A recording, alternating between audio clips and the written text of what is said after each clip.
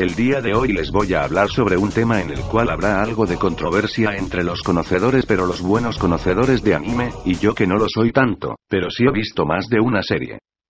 Como el título lo dice, vamos a hablar acerca de los estereotipos en los personajes de anime. Así como hay estereotipos en la vida cotidiana, deportes y demás cosas, así también los hay en las series. Lo interesante es que estos estereotipos se repiten demasiados. Tal vez será porque son los únicos, jajaja, pero están, aunque ni nos demos cuenta. En la mayoría de los estereotipos, dejaré ejemplos de personajes que cumplen con las características. Comencemos. El protagonista pues es la protagonista de la historia. En las series de acción-aventura, se sigue un estereotipo de un personaje que tiene ideas bastante claras sobre algún objetivo que tenga en mente. Son tipos algo despistados y más o menos payasitos. Que intentan ser graciosos, pero no lo logran.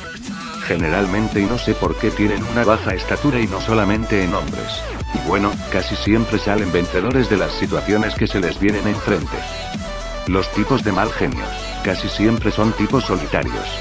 Este tipo de personajes buscan varias cosas en particular poder, poder, ser más fuerte que el otro tipo, saber utilizar y controlar ese poder porque siempre pasa de que cuando tienen el poder, es tanto que reculan. Estos estereotipos cambian de bando constantemente la delgada línea entre héroe y villano, y adivinen por qué hacen eso. Por poder vaya force. Parece ser que estos personajes siguen un código de honor bastante conocido en la antigua cultura japonesa. Quien haya visto la peli de El último samurái sabrá de lo que hablo. En una batalla, por ejemplo, cuando casi le rompen la... Digo, están a punto de acabar con él, estos personajes suelen usar palabras como ya mátame, la muerte es el premio por mi derrota o qué sé yo. El punto es, si no ganas, tienes que morir. Casi siempre es entre amigo y enemigo del protagonista. Tipos fríos.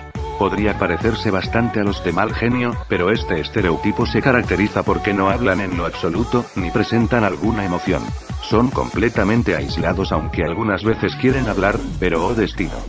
Siempre pasa algo y no lo hacen. Generalmente es gente lista, y generalmente son buenos hacen alguna actividad que a ellos les guste. Pero la mayor característica que tienen es que no les gusta hablar. Los locochones. Son personajes más locos que el protagonista. Ellos quieren demostrar que son parte de algún grupo, clan, pandilla, etc. por medio de las risas, bromas, chistes, etc. Solo cuando sea una situación de emergencia y hasta eso, a veces ni así llegan a ser serios. Y no les caen bien a la mayoría de la gente. Personajes infantiles Los estereotipos infantiles tienen dos características que son bastante claras que son niños, y se comportan como tal. La manera de comportarse viene siendo que son tímidos, sensibles, y algo temerosos en las situaciones de peligro. Aunque las características de la actitud de los personajes infantiles no siempre se aplican, sí hay sus excepciones. También hay niños claro, y niñas también de los llamados problema. El ejemplo más común es el hermano a menor, que no quiere que su hermano a mayor esté con alguien más los típicos celos de hermanos personajes pervertidos contamos con dos estereotipos de personajes que les gusta mucho ver por lo menos la ropa interior de alguna linda jovencita.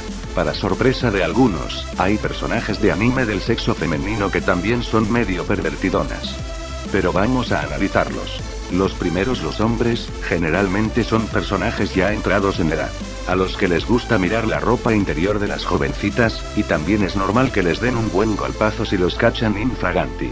Estereotipos de villanos. Los villanos también tienen sus personalidades que cambian, no dependiendo de la serie, sino dependiendo del autor pues él es el que determina cómo va a ser cada uno.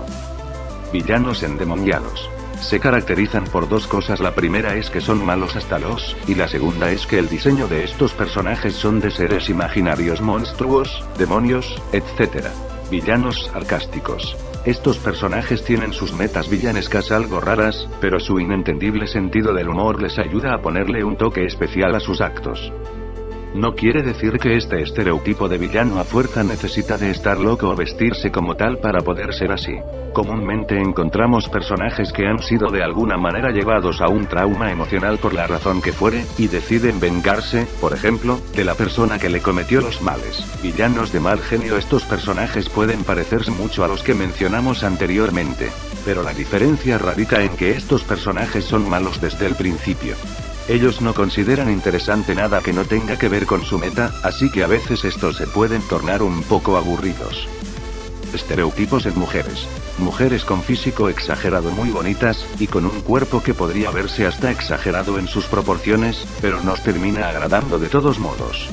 Las personalidades varían, así que no puedo tomar eso como una referencia notable.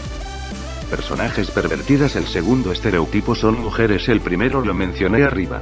A ellas también les atraen las jovencitas aclarar que son un poco mayor que las perseguidas, o de la misma edad, y ellas también vienen siendo pues bonitas. Y yo creo que eso hace que el yuri que es el género de animes manga que son de lesbianas se vuelva tan popular. Las fuertes de mente. Vulgarmente se les llama en las mujeres. Las marimachas. Son personas que tienen una mentalidad de tipos fuertes de mente, positivos y concentrados ante cualquier situación, pero siempre esconden sus verdaderos sentimientos que no quieren demostrar. Generalmente tienen algún tipo de amante en secreto, al cual le gusta golpearlo. Y después de un tiempo, ellos dos acaban por ser la parejita sí, sonará medio loco, pero yo conozco mujeres con ese estereotipo, el cual es algo natural. Las chicas del fanservice. Me imagino que si te interesa el tema, sabrás que el fanservice es como tirándole a un estilo anime, común en restaurantes japoneses, en el cual las jovencitas que trabajan en esos restaurantes tienen uniformes bastante peculiares, como esto. Bien, eso es todo. Si creen que se me haya pasado algún estereotipo importante, agregar algo, alguna crítica, pueden hacerla en los comentarios.